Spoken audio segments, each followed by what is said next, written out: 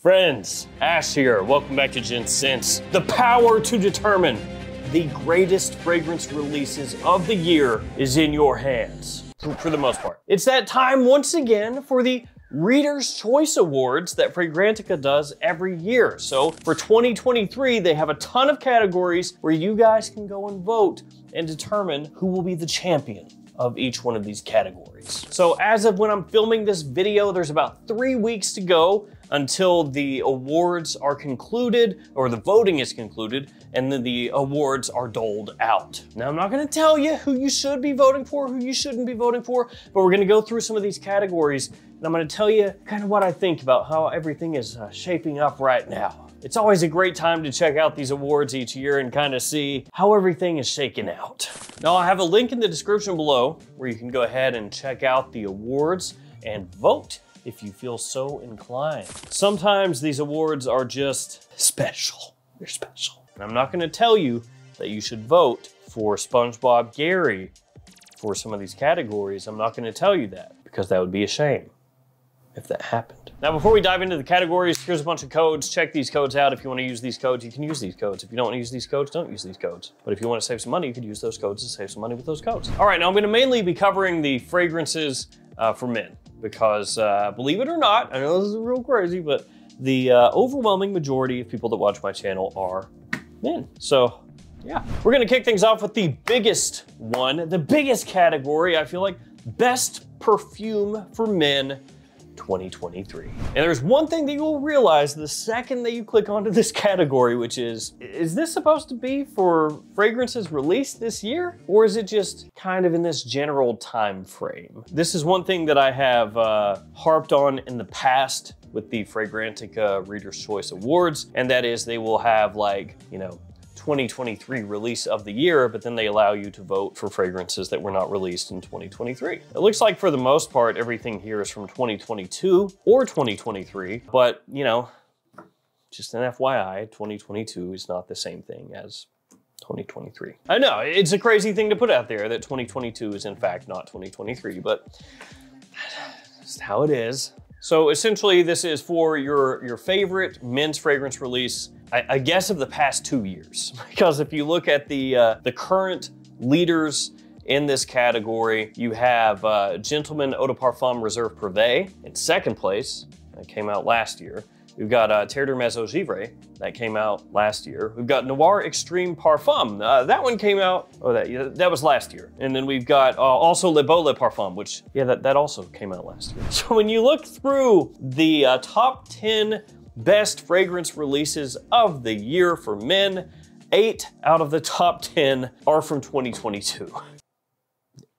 Okay? In first place right now, though, is a fragrance from this year, which is Le Male Elixir. Now, I also happen to think that Le Male Elixir is the best fragrance release of the year for men. So I agree. I mean, the rest of it, the rest of the top 10 is a complete mess, uh, assuming that you're wanting to make it specific to 2023. But if you don't really care about that and you just say, you know, it can be last year or this year, then it's actually a pretty good list. And then interestingly enough, there are some fragrances that are left out of the top 10 right now as far as voting goes for fragrance releases of this year, like Born in Roma Intense, Invictus Victory Elixir, uh, Altair from Parfums de Marly, Y Eau de Parfum Intense, Gentleman Society, Ideal Platine Privé, 1 Million Royal, on and on. So yeah, most of this is uh, 2022 releases, and uh, to be fair, the releases from 2022 that are chosen are all pretty freaking good good. And then we have the best perfume unisex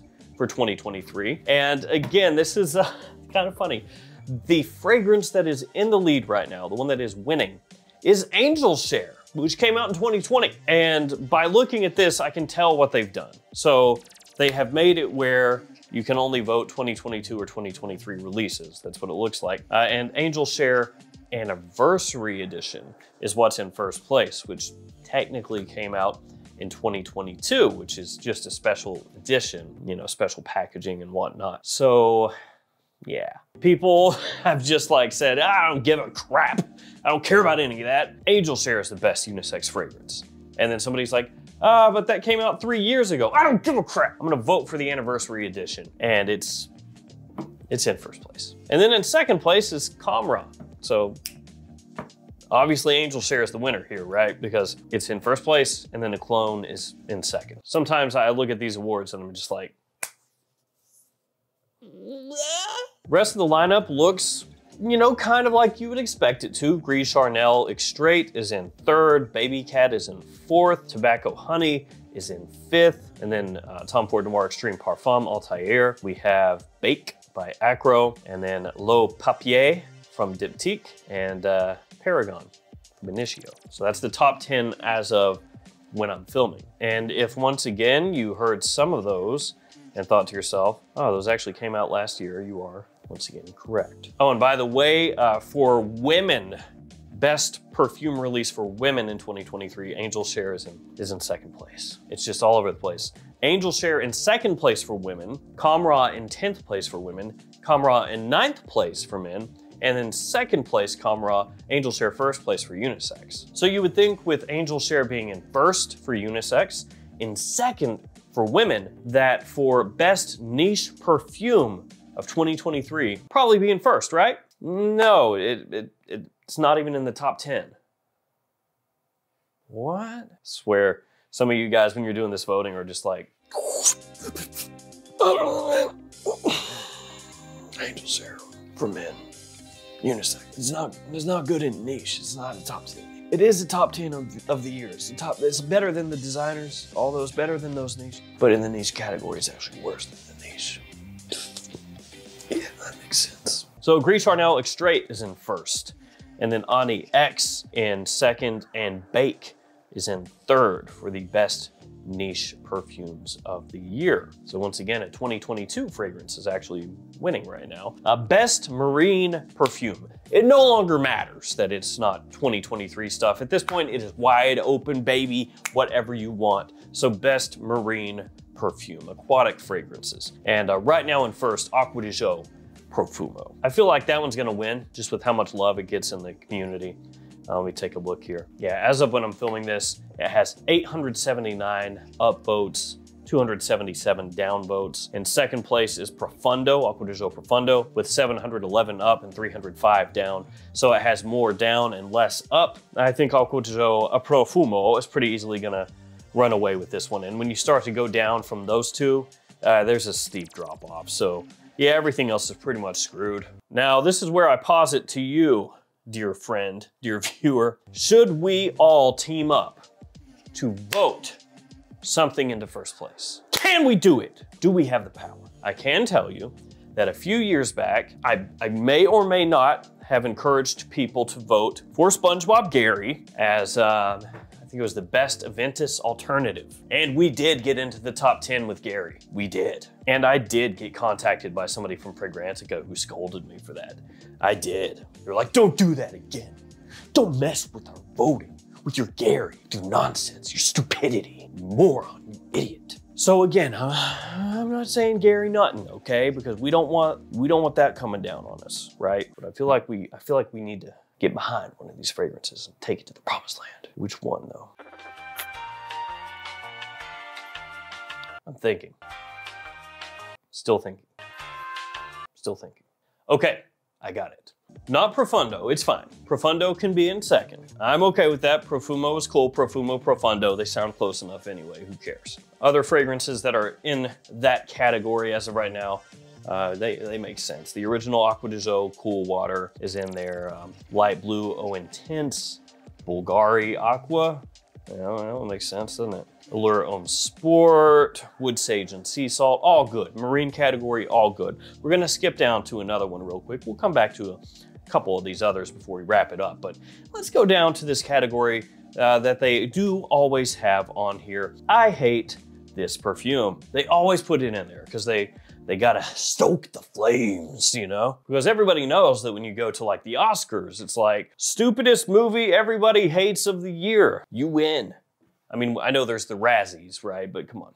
That's separate, that's a different thing. So they always have, I hate this perfume. And always in first place is, is the one that's in first place now, Dior Sauvage. Oh, I hate it. It makes all the money in the world and Johnny Depp hangs out with wolves and plays electric guitar in the desert. That triggers me. I want to flip my table because of that, right? It's always in first place. It's always the winner, which isn't fair. There should be uh, another winner of this category. Let's look at it now.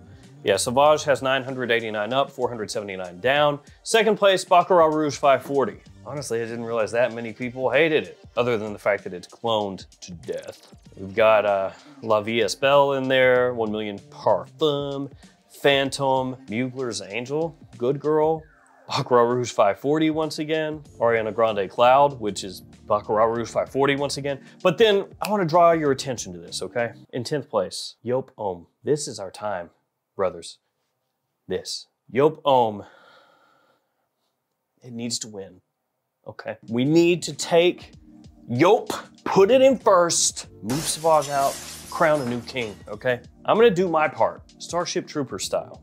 That's right, I just, I just voted. Did you hear that click? Joop, Joop Homme, all right? I feel like we can do this. We, we can definitely get better than 10th, but we need to take that Joop, put it in the first, okay? I wanna see Cloud moving down into 10th, Baccarat Rouge 540 moving down. I wanna see that Joop moving up. Yes, it's a classic, okay? I agree, it's a classic, but maybe not in a good way. It's a classic in the same way as like a, a Pinto, you know? The vehicle, the car where you're driving along and it gets hit from behind and explodes into flames and, uh, you know, takes you out in a very uh, painful way. That's Joop. Joop is the Pinto. So you can look at it and be like, oh, that's very much of its time. Yes, it is. You want to be wearing it, driving it nowadays? Hmm. I don't think so. So that that's that's it. That's that's what we got to do. Joop, let's move that on up. I don't know if we can beat Sauvage because that one has won. Uh, I hate this perfume for many years in a row, but we gotta give it our best shot. So any of you that have Fragrantica accounts, let's do it. Hopefully I don't get yelled at for this one. Let's check out, uh, let's go to something happier next. Best men's perfume of all time, ever. And in first place, Dior Homme intense. This one also pretty much every year wins. I think at some point they maybe need to like retire some of the fragrances from some of these categories because Dior Homme Intense wins best men's perfume of all time like every time. Interestingly enough, Terre d'Hermes in second place. I say interestingly enough because uh, Terre d'Hermes has a lot of detractors. I mean, to be fair, so does Dior Homme Intense. A lot of people are like, when can I wear that? Uh, Dior Homme Intense, one of my favorites of all time course. But Terre d'Hermes, uh, I also think, to be fair, is really, really, really, really good. Fantastic. But a lot of people say they, they just can't rock with it, the kind of like flintiness, earthiness in there. Uh, they hates it a little bit. And this is very interesting. Bleu de Chanel Eau de Parfum in third place. Best men's fragrance of all time. It shows uh, the different way that people view Sauvage versus Bleu de Chanel, at least in the fragrance community. Obviously, in normal day-to-day life, those two are the two most popular fragrances in the world right now for men. But especially in the fragrance world, you know, Sauvage gets a bad rap. And so it gets placed into first of the worst of all time. And then uh, Bleu de Chanel, best of all time. Are they that drastically different that one is literally the worst thing that has ever existed and the other is one of the best things that has ever existed? Nah, not really, but that's what, you know, hype one way or the other will get for you. Dior Homme Parfum in fourth and then Sauvage Elixir in fifth. That's the Sauvage du jour. That's the one that everybody is about. Then we got Layton, Aventus, Ombre Leather, Spice Bomb Extreme, and La Nuit de l'Homme rounding out the top 10. All of those, of course, really big releases. I'm not sure how many of those would make my personal top 10 of all time, at least a couple would. But overall, it's a really solid batch. And there are many other categories, but I wanna go over just one last one, which is most boring perfume for men 2023. Yes, the most boring, the worstest of the worst. In first place, Yves Saint Laurent's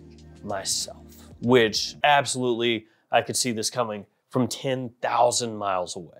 Because myself is not drastically new. Doesn't really do anything that's never been done before. It's it's something that you can definitely find, you know, the things that have inspired it, right? But then at the same time, it's definitely not made for people like me or probably you. It is made for somebody who just wants a versatile people pleaser that gets compliments, which is why it is currently one of the best selling fragrances in the United States. And there will also be that, where it's selling extremely well. And so people will see that that are in the fragrance world and they'll be like, that sucks. It doesn't deserve it. You don't deserve that. You know, it's like, um, I don't know, musicians who are really into progressive metal or something like that. And then uh, they see a pop singer and they're just like, ah, you don't deserve it. You don't have the talent. It feels kind of like that. So that one, I could absolutely see why that's in first place. That makes sense. 1 Million Elixir is in second place, which technically came out last year. And then uh, Phantom Parfum in third, and then Absolute Aventus in fourth. And uh, ah, I don't know how much I agree with that. Past that, uh, Armani Code Eau de Toilette, which, okay, I mean, it's basically just rebottling. It's like very minusculely different from the original code, you know? Is it boring because it already exists? Like, and has existed for a long time? I don't know. Got Acqua di Giò Parfum at ninth. So it is uh, at the same time one of the most boring fragrances of the year and also one of the best fragrances of the year because it's right now in sixth for best perfume of the year for men. Go figure. Invictus Victory Elixir on most boring. Nah, I don't think so. And then eighth, uh, Mont Blanc Explorer Platinum. That one I could see. I feel like uh, the new Wanted Eau de Parfum could be in the most boring. Uh, that one, you know, I thought was not really that good and it didn't grow on me as time went on. It was one of those ones where it's like, well, okay. Um, what else? Cool Water, Oceanic Edition. That's not really that exciting.